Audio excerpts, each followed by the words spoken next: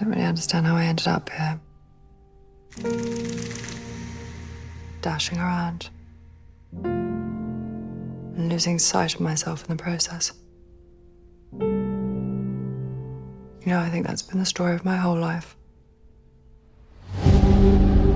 I'm afraid, Your Majesty, interest in the princess's private life is unlikely to die down anytime soon.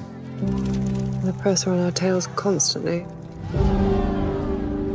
All one wants is for that girl to find peace.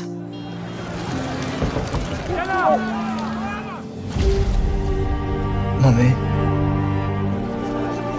You okay? I'm okay. It's just. It has all been a bit mad recently.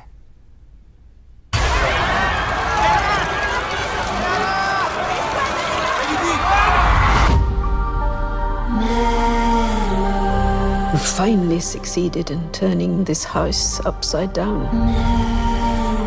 It's nothing less than revolution. That was never my intention.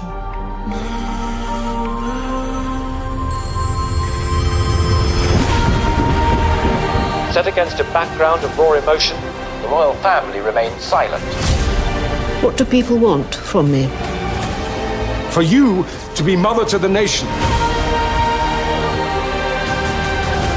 You've seen the images on the television. Diana gave people what they needed, All over the world, in their thousands. and they adored her for it. This is going to be the biggest thing that any of us has ever seen.